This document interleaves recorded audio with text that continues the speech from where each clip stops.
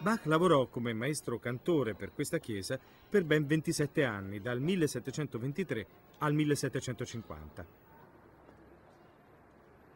Il maestro non aveva tempo per annoiarsi, doveva provvedere alla selezione musicale per tutti i culti di ben quattro chiese e doveva dirigere il coro lui stesso sia a San Tommaso che a San Nicola, l'altra chiesa storica.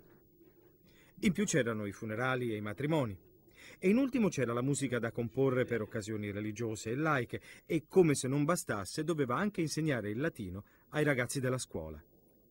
Nonostante questo, Bach ha creato opere che hanno trasformato la storia della musica. Le passioni secondo San Giovanni e San Matteo, la messa in si minore, l'arte della fuga, solo per nominarne qualcuna.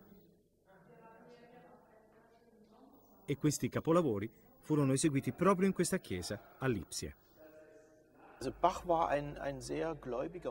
Bach era un uomo profondamente credente.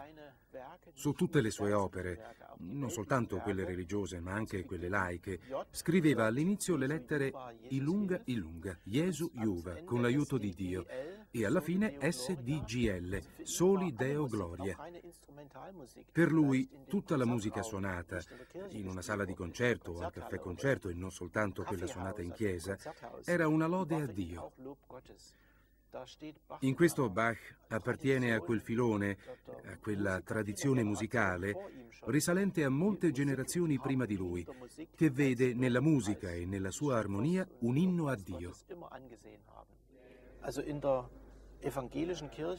Nella Chiesa evangelica, la predicazione, la divulgazione della parola di Dio svolge un ruolo importante e la musica è anche divulgazione della parola di Dio.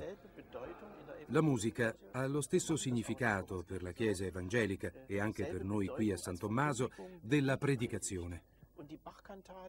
Le cantate di Bach altro non sono che una predicazione in musica. Bach esprime il testo biblico. La musica fornisce uno sfondo o una delucidazione sul testo che nessuna parola, nessuna predicazione potrebbe mai dare.